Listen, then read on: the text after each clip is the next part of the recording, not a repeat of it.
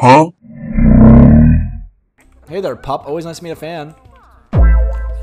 What? What? Uh, guys, I'm I'm kind of blushing. Why do you say that? Don't don't. You're gonna take me out to dinner first, little Labrador. I cannot believe he said that. Yo, I think I got a crush.